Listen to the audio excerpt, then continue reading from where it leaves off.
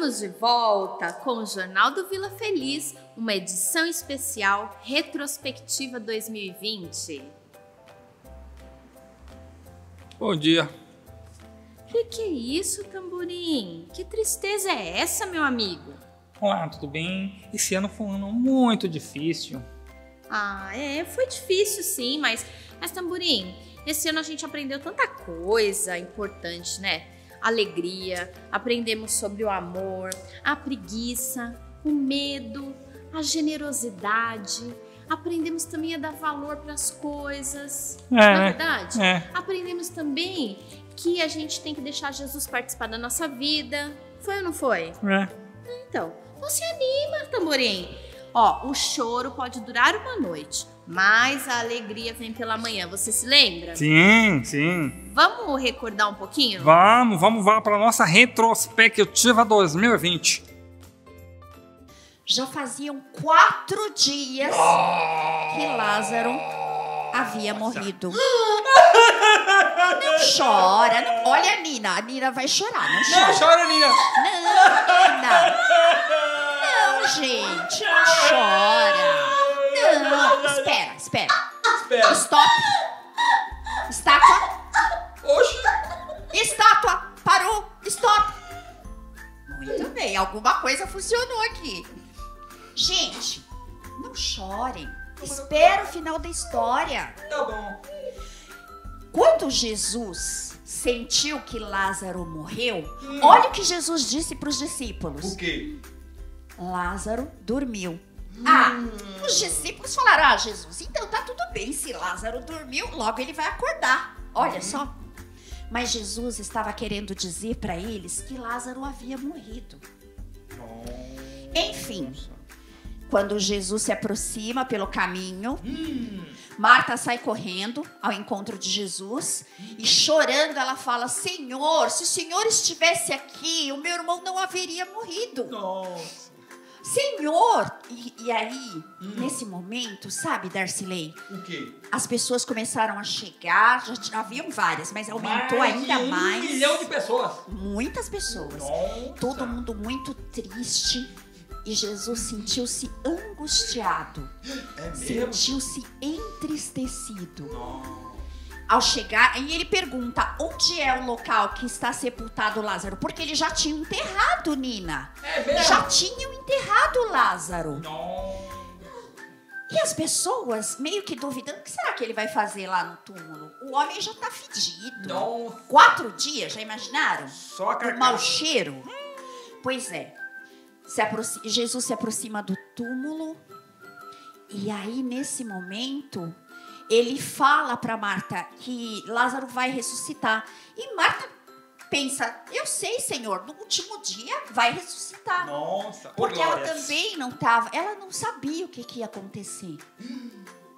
E você sabe o que aconteceu? Você sabe, O que Nina? aconteceu, tia? Conta. Sabe o que aconteceu? Sabe, sabe, sabe Não, o que não, não, aconteceu, conta, criançada?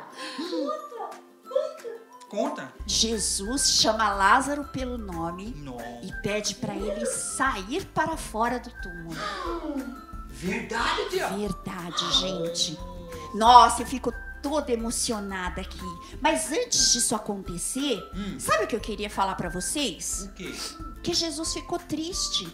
É E? Jesus chorou, Nina. Hum. Jesus chorou como você tá sofrendo agora.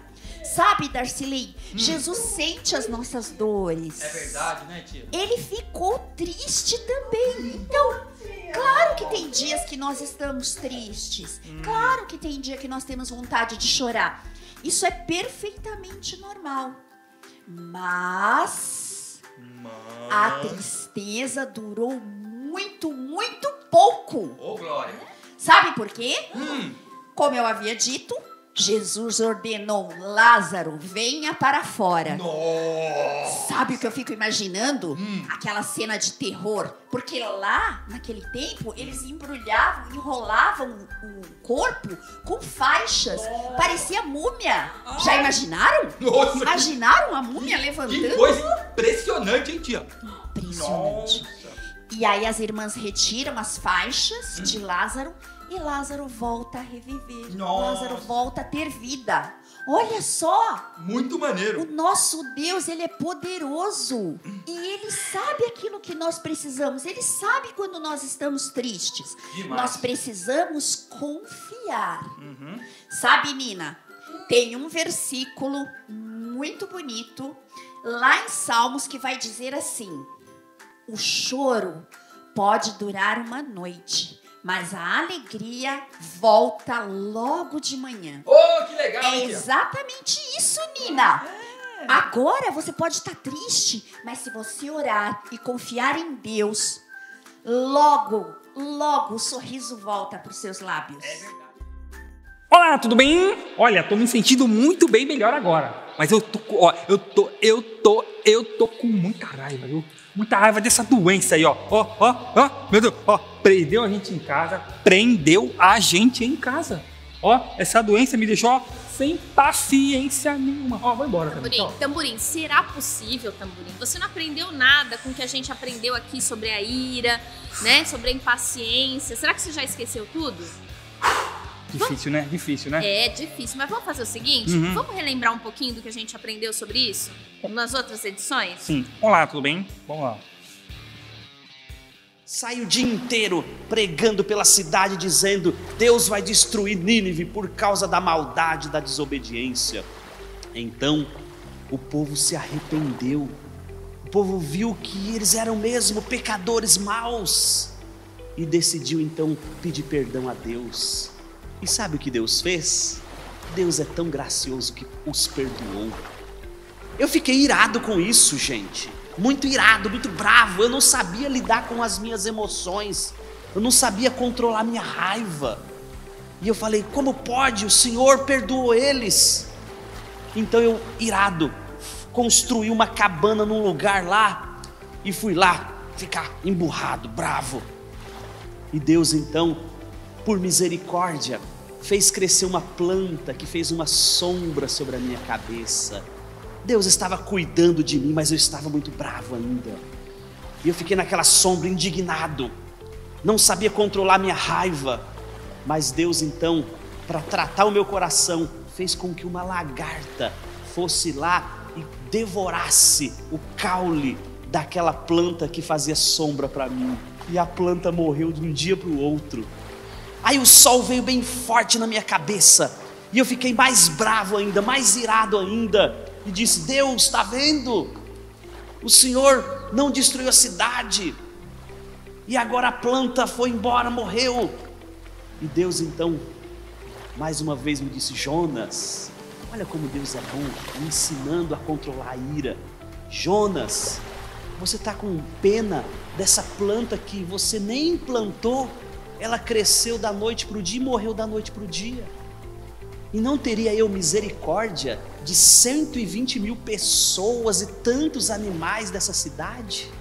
Jonas, é claro que eu devo ter misericórdia dessas pessoas. Pessoal, eu fui profundamente instruído por Deus nesse momento. Deus me ensinou que eu devo controlar a minha ira, que eu preciso amar de verdade as pessoas. E as emoções, elas podem ser contidas. Eu estou aqui hoje contando a minha história para vocês, com vergonha da minha desobediência, com vergonha da minha ira, da minha raiva sem controle, raiva injusta.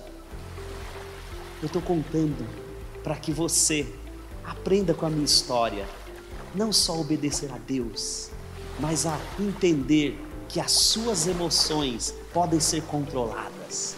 Você não precisa chutar a porta, bater no travesseiro, gritar, bater, bater os pés, nada disso, porque Deus dá forças para a gente controlar as nossas emoções.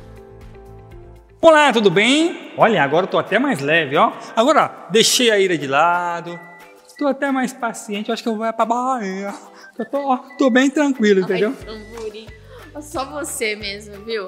Vou te falar. Olha, você aprendeu então, né? Hum. Aprendi. Que não é pra ficar impaciente, Sim, nem sim, irado. sim. E além disso, tamborim, a gente tem que confiar em Deus, entendeu? Uhum. Ele nos ama, ele sabe o que é melhor pra gente. Quando a gente tem um problema, ele ajuda a gente. É verdade, é verdade. Aprendemos sobre isso também. É. Uhum. E aprendemos também que Deus é maravilhoso, que Ele nos ama muito, que mandou Jesus para morrer em nosso lugar e nos salvar. É verdade, ó. E precisamos controlar, controlar as nossas emoções. ó, e viver para a glória de Deus. Sabe o que, que me lembrou isso? Por quê? Aquele. Como que ele chama mesmo? Lucinho ensaboado? Não. Não, Lucinho ensopado. Ensopado. Isso. Lucinho ensopado. A chefe Clara e a espagueta. É verdade. Espagueta ou um- espoleta? Espagueta. Ah, é que escreveram no espoleta. É espagueta. É espagueta. Vamos lembrar um pouquinho Sim, deles? sim, sim.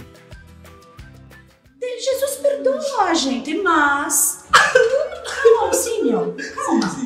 Jesus perdoa os nossos erros, as nossas atitudes ruins, mas nós precisamos reconhecer que estamos errados. Precisamos pedir perdão. Ah, Precisamos pedir para Jesus modificar a nossa vida. É igual a um bebezinho. Hum, Um bebezinho. Ele vai crescendo e a gente vai ensinando ele o que é certo, o que é errado, segundo a vontade de Deus, ué. Ah, entendi. Então eu não vou mudar de um dia pro outro. Não. As coisas vão, sabe, não vai ser como um passe de mágica. Não, Lúcia, não é assim. Nem que mudou a vida. Não é? Hum. Vai sendo pouco a é pouco a pouco. pouco, né? Que Pouco é aquela a pouco, música, cada né? Que fala pouco a pouco,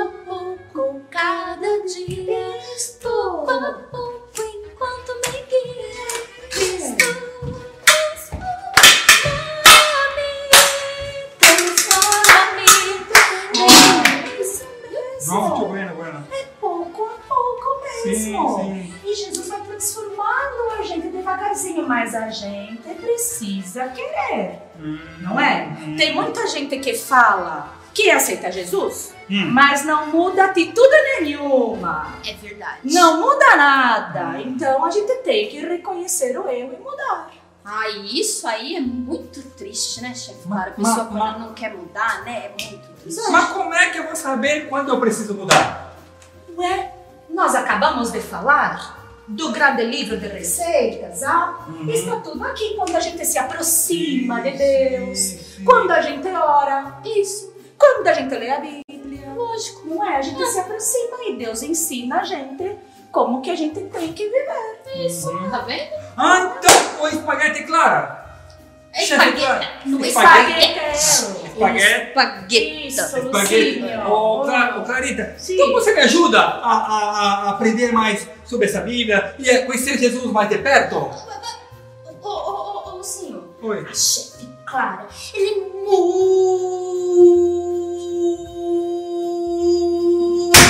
é muito, ocupada. Ela não tem tempo, entendeu? Ela, ela não tem tempo nem pra me ensinar, não é verdade? Porque, porque às vezes eu tô lá na cozinha, eu quero fazer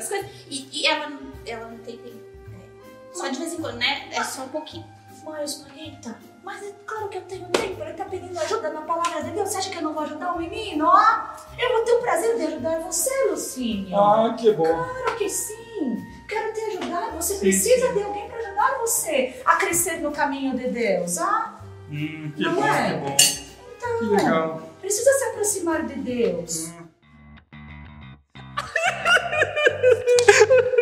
Mas o que, foi agora, será possível? eu tô muito emocionado, ó. Muito, Ah, muito, bom, muito né? emocionado, sabe?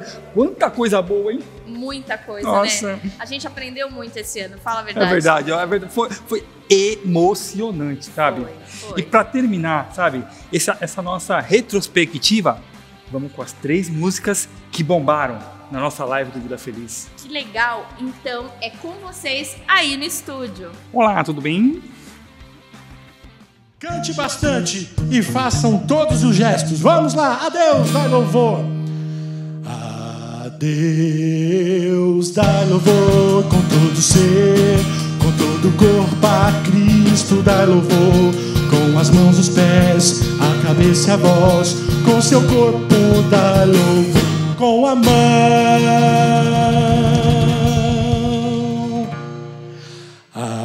Adeus, dá louvor com todo ser, com todo corpo a Cristo dá louvor. Com as mãos, os pés, a cabeça e a voz. Com seu corpo dá louvor. Com a mão, com outra mão.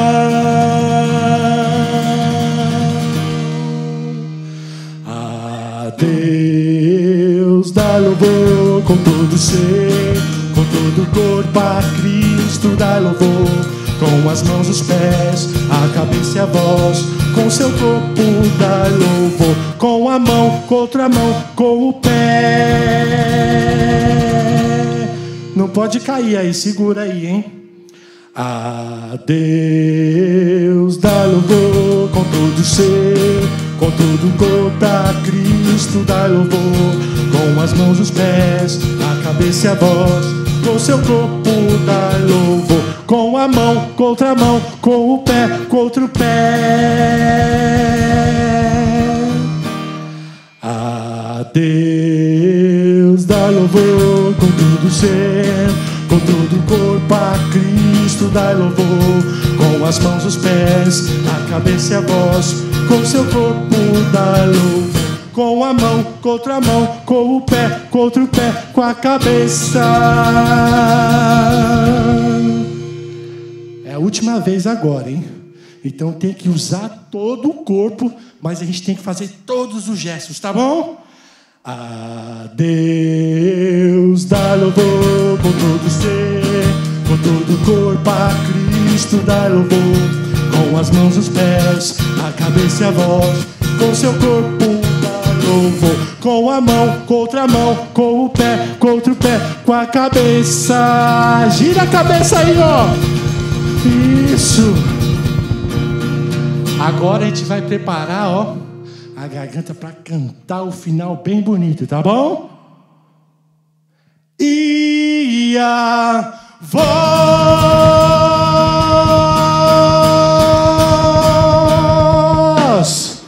Uou! Meu Deus é um Deus grandão. Meu Deus é um Deus grandão. Meu Deus é um Deus grandão. Estou bem em tuas mãos. Meu Deus é um Deus grandão. Meu Deus é um Deus grandão. Meu Deus é um Deus grandão. Estou bem em tuas mãos. Mais alto que um arranha-céus, profundo como um submarino. Maior que universo e mais que tudo que sonhei. Me ama e me conhece, desde sempre foi assim. É bom saber que Ele tem um plano para mim. Meu Deus é um Deus grandão. Meu Deus é um Deus grandão. Meu Deus é um Deus grandão. Estou bem em. Quero ouvir vocês. Meu Deus é um Deus grandão. Meu Deus é um Deus grandão. Meu Deus é um Deus grandão. Estou bem em tuas mãos. Mais alto que um arranha-céus. Profundo como submarino. Maior que o universo e mais que tudo que sonhei. Me ama e me conhece, desde sempre foi assim. É bom saber que Ele tem um plano para mim. Meu Deus é um Deus grandão. Meu Deus é um Deus grandão. Meu Deus é um Deus grandão. Estou bem em tuas mãos. Meu Deus é um Deus grandão. Meu Deus é um Deus grandão. Meu Deus é um Deus grandão. Estou bem em tuas mãos. Estou bem em tuas mãos. Estou bem em tuas mãos.